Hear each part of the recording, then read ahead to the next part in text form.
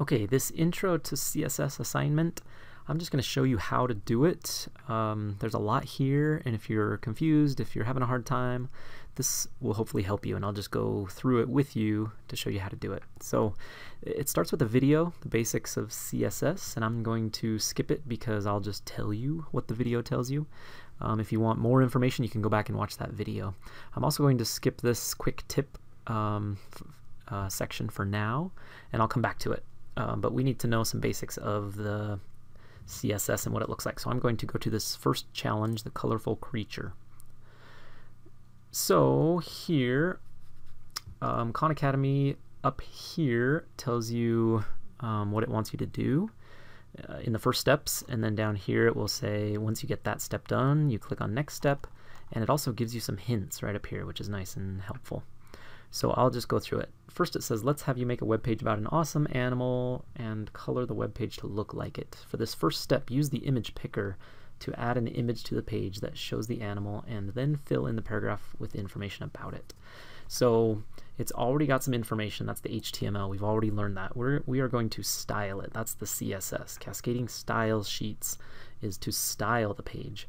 And we've already done some of this, um, but we've done it a certain way. We've put it in inside the tags in the HTML section. And so what we have done is put a style attribute, style equals, and then in parentheses we put a, a declaration, we call it, and it's, it consists of a property and a value. So if we say color of navy, then it turns that navy blue. It's not real noticeable because it's close to black, but if I put it um, uh, red, then it will be noticeable. So this is what we've done in, in, the past, and this is called inline CSS. It's inline with the, the tag. And so we are there's a better way to do it. We're going to take that out and put it up here in the head section outside of the body tag, so it's not actually on the page or in the HTML, but it's referencing the HTML. So let me show you how that works. And we're going to keep, we're going to get rid of all this. In fact, let me set it up up here first, and I'll show you what parts of this we're going to use. So inside the head tags, it wants me to put, actually, you know what? It first wants me to put an image, so let me just do that.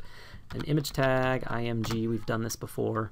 And then as soon as I put a source attribute with the quotes, it gives me the, gives me the image picker. This is just a Khan Academy thing. We can't do this in Notepad or any other text editor. So I'm just going to pick a nice picture that I like. Uh, let's see, what's something, okay, how about the monocle? They call him Old Spice Man. He's got a monocle, so I'm going to call him Monocle Man. Okay, um, now I've got that image tag, but I have to close it out. This is all inside the image tag, but well, first I'm going to put an alt tag and say Monocle Man. It's just the name of it. Height and width I'm not going to worry about. I'm just going to close it out with the, the ending bracket there, and there's my picture uh, on the page. Okay, so now that I did that, let's see if it tells me to go to the next step. Not yet, there's more. It says, can you use strong and em tags to describe what the animal is and why it's awesome?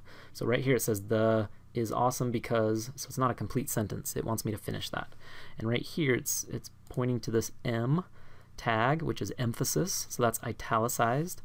And the monocle man is awesome. And see right here, it's it's um, the the em tag makes it italics, puts it in italics, italicized, is awesome because, and then in the strong tags, this is a bold. This is how you do uh, bold text in HTML and CSS.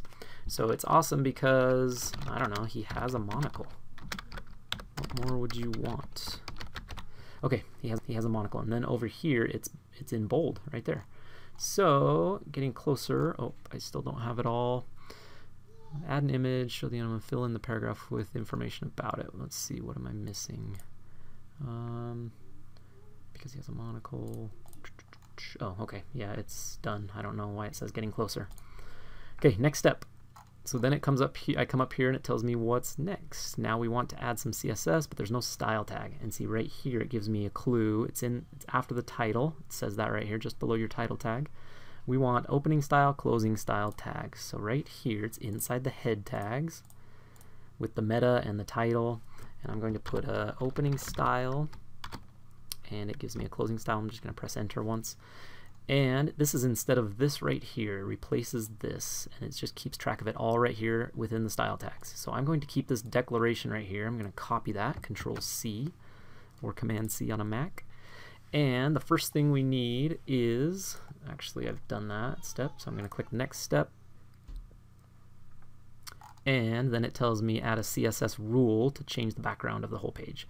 So to change the background, we could put it right here in the body tag, right? That's what we've done before, style equals, and then put our declaration, which is um, background color and whatever color we want. So instead of putting it down there, I'm going to put it up here now. It's the better way of doing it.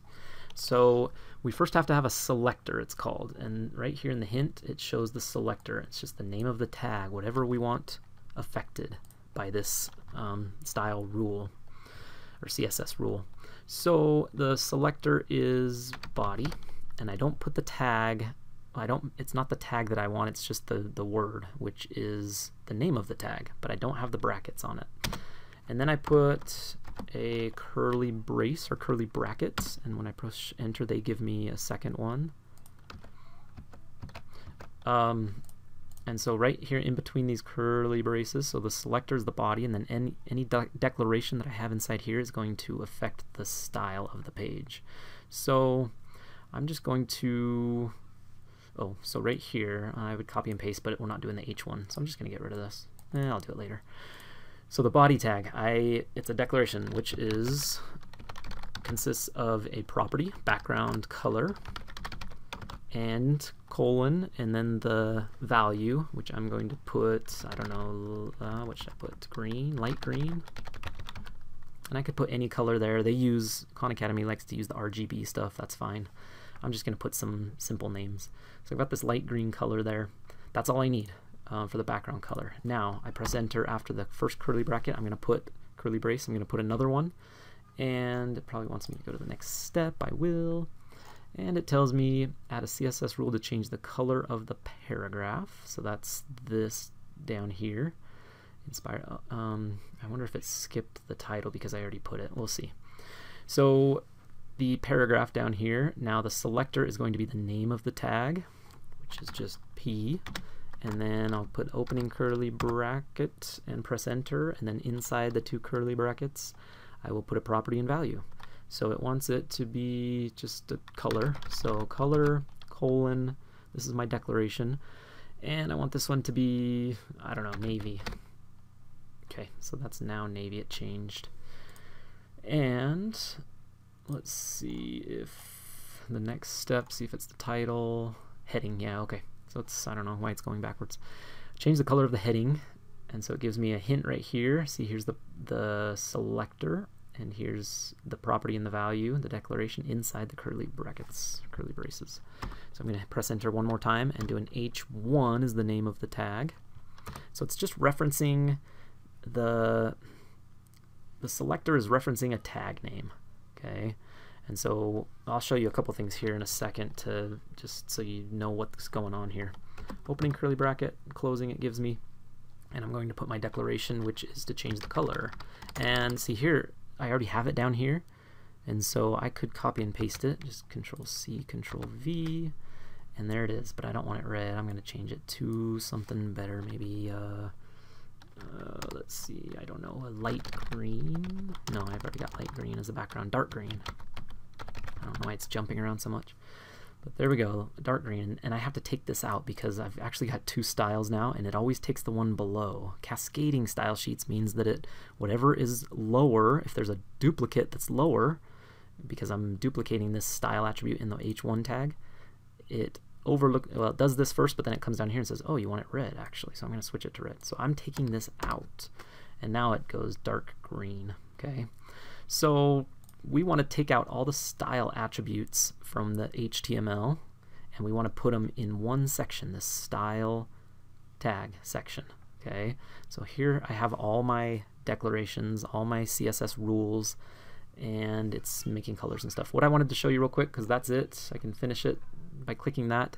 Nothing's, well, I'll show you that in a second.